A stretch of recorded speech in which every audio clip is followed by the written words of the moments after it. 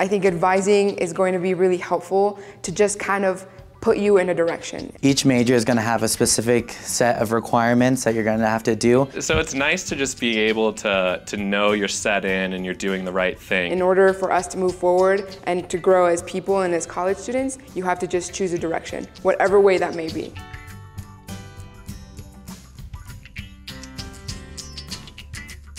Advising has really been a really important part of my experience here at CU. So she helped me be able to make sure my schedule would fit with what I wanted to do so I could have the full college experience. I got to spend an entire year in Spain. She helps me a lot with my future plans as well and helps me a lot with transitions and uncertainties that I might have. I was ecstatic to know that somebody cared about me.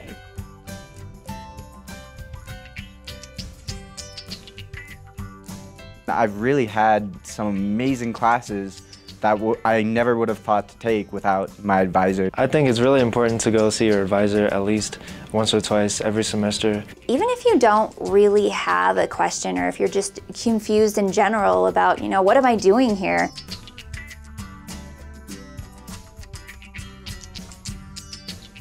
It might be nerve-wracking and freaking you out, but in the end, they're there to help you. So just take a deep breath when you go in, and even if you're crazy on your first time in like I was. Your advisors aren't going to be there to judge you. They're there to listen. Well, I actually decided freshman year that I definitely wanted to finish in four years. A lot of my friends have taken five or six years to finish because they didn't work with their advisor. Definitely read all the emails they send you. Make the most out of your opportunity here. You need to go see your advisor. It's absolutely crucial.